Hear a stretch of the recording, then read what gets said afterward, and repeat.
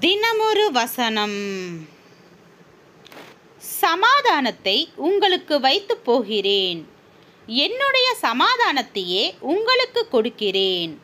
உலகம் கொடுக்கிற பிரகாரம் நான் உங்களுக்கு கொடுக்கிறதில்லை. உங்கள் இருதயம் கலங்காமலும் பயப்படாமலும் இருப்பதாக. யோவான் பதினான்காவது அதிகாரம் இருபத்தி ஏழாவது வசனம். மன அமைதியை பெறுவதற்காக சிலர் புனித ஸ்தலங்களை தேடி செல்கின்றனர். சிலர் மதுபானத்தை நாடி செல்கின்றனர். சிலர் சினிமா நாடகம் கேளிக்கை என செல்கின்றனர். ஆனால் இவைகளினால் மனிதனுக்கு உண்மையான மன அமைதி கிடைப்பதில்லை. இவைகள் சற்று நேரம் மனிதனுடைய மன பிரச்சனைகளிலிருந்தும் மன கொந்தளிப்புகளிலிருந்தும் கவலைகளிலிருந்தும் அவனுடைய கவனத்தை திருப்புகின்றன. அவைகளினால் சற்று நேரம் அவன் தன் துன்பங்களை நினையாமல் இருக்க முடிகிறது. அவ்வளவுதான். மிகுதியான உடல்வலி ஏற்படும் போது சில வலி நிவாரணிகளை உபயோகித்தால் சற்று நேரம் வலியாகவும் போய்விட்டது போன்ற உணர்வு ஏற்படும். ஆனால் உண்மையில் வலி விலகிவிடவில்லை. ஆனால் அந்த வலியை சற்று நேரம் சரீரத்தில் உணராமல் இருக்கின்ற ஒரு மரத்த நிலை ஏற்படுகிறது அவ்வளவுதான். சிறிது நேரத்திற்கு பிறகு ஓடிவிட்டது போல தோன்றிய வேதனை மீண்டும் திரும்பி வரும். ஆனால் தெய்வீக அமைதி என்பது சற்று நேர செயல்பாட்டோடு முடிந்து விடுவதல்ல. அது நம்முடைய கவனத்தை மட்டும் சற்று நேரம் திசை திருப்பாமல் ஒரு நிஜமான நிம்மதியை நெஞ்சத்தில் ஏற்படுத்துகின்றது. அது அமைதியின்மைக்கு காரணமானவைகளை இதயத்திலிருந்து எடுத்து போட்டு மனதிற்கு புது பலத்தையும் உற்சாகத்தையும் தருகிறது.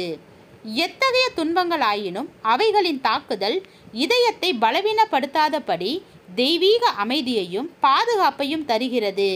எனவேதான் இயேசு கிறிஸ்து நான் தருகிற சமாதானம் உலகம் தருகிற ஒரு சமாதானம் போன்றதல்ல என்று தம்முடைய சீடர்களுக்கு உறுதியளித்தார்.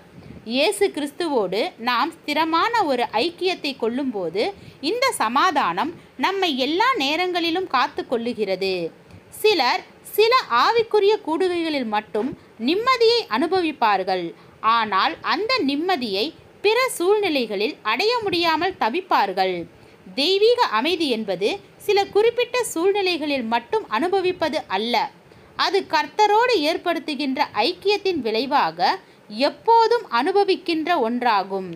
வருத்தப்பட்டு பாரம் சுமக்கிறவர்களே நீங்கள் யாவரும் என்னிடம் வாருங்கள்.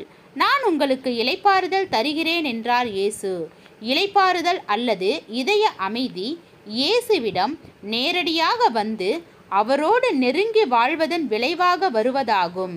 இதனை நாம் ஒரு ஜப கூடுகையிலோ சபை ஆராதனை வேளையில் கலந்து கொள்வதினாலோ பெற்றுவிட முடியாது.